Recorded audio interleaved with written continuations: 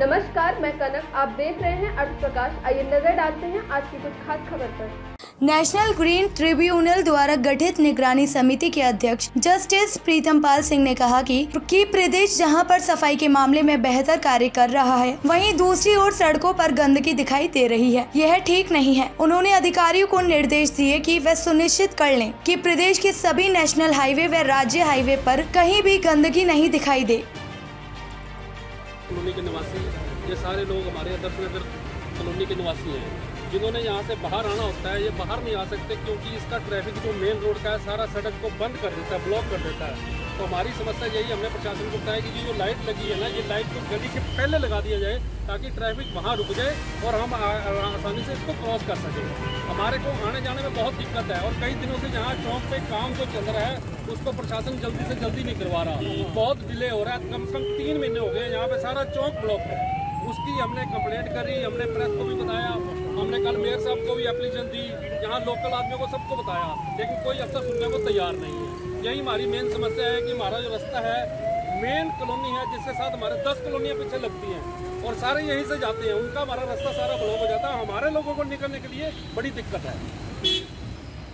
सारी, मैं पहले बात कर भी चुका हूँ कि जितने भी एनजीटी के पॉइंट थे सॉलिड वेस्ट मैनेजमेंट के लिक्विड वेस्ट के प्लास्टिक वेस्ट के और म्यूनसिपल वेस्ट के इंडस्ट्रियल वेस्ट के वो सारे पॉइंट डिस्कस हो चुके हैं। उसमें जो कमियाँ थी वो हमने उनको भी नोट किया जो अच्छे काम हैं वो भी नोट किए हैं और मौके पे आके देख भी लिए हैं कि मीटिंग में क्या था और बाहर क्या है। सर क्या जो असलियत हमें ऑब्जर्वेशन हुई, वो हमारी हम वो रिपोर्ट लिख के एनजीटी को भेज देंगे। और जो कन्हैया चौक की ये प्रॉब्लम थी, ये सुप्रिटेंडेंट इंजीनियर हैं कॉरपोरेशन के, इन्होंने सब लोगों के सामने ये कमिटमेंट की है कि पंद्रह दिन के अंदर ये सब साफ़ हो जाए। पब्लिक के, और नहीं होगा तो आप ये हमें लिख के भेजें उसके ऊपर फिर हम अगली कार्रवाई हम करेंगे। लेकिन मुझे लगता है कि इतना क्लास वन अफसर अगर ये कमिटमेंट सबके सामने हमारे कर रहा है तो उसमें वो ज़रूर करेगा इसको। सर जिस तरह के हालात आपने शहर में देखे हैं उससे क्या लगता है? देखिए शहर में जनरल सफ़ाई लगती है लेकिन जो पॉइंट आप लोगों ने दिखाए हमें वहाँ को देख के हमारी सर लेनी हुई। वहाँ सॉलिड वेस्ट का भी गड़बड़ है और लिक्विड वेस्ट का भी जो शहर में इस पार्क के साथ जो चीज़ दिखाई वो एक नाकाबिले बर्दाश्त है। सर कचरा प्लांट में सर कचरा प्लांट के बारे में क्या कहना चाहेंगे? क्या वहाँ ठीक काम चल रहा है? कचरा प्लांट इन्होंने बरसात की वजह से बंद किया हुआ है लेकिन हम देख के जाएँगे उसको भी अभी। कोई कैल में कहाँ पर रास्ते में वो उस पॉइंट को। और ये जो पिछला सॉलिड वेस्ट था लिगेसी वेस्ट वो हमें रिपोर्ट ये दी गई है कि वो हमने सारा ठीक कर दिया। और नया वेस्ट जो पड़ा है, उसके लिए कंटेक्ट देना है, लेकिन वो इकट्ठा हो रहा है वहाँ पर अभी कोई ट्रीटमेंट नहीं है।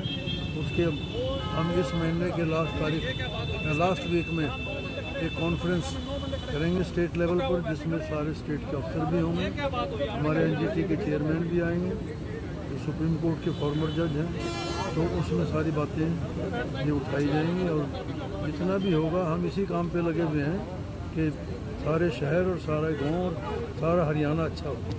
इसमें सर पीछे एनजीटी ने आदेश किया था जाँच भी आई थी जो जमुना की धारा बदल दी जाती है तो उस पर क्या आदेश हुआ सर? उसके ऊपर आदेश एनजीटी एक्शन लेगी उस पर हमने जो देखा जो पाया अपनी सच्ची रिपोर्ट हम तो सच्चाई का पल्ला पकड़ के रखे हैं, ज़िंदगी भर रखी है। हमने जो ऑब्ज़र्व करते हैं, वो हम रिपोर्ट लिखित में आती है वो रिपोर्ट आप एनजीटी पे देख भी सकते हैं।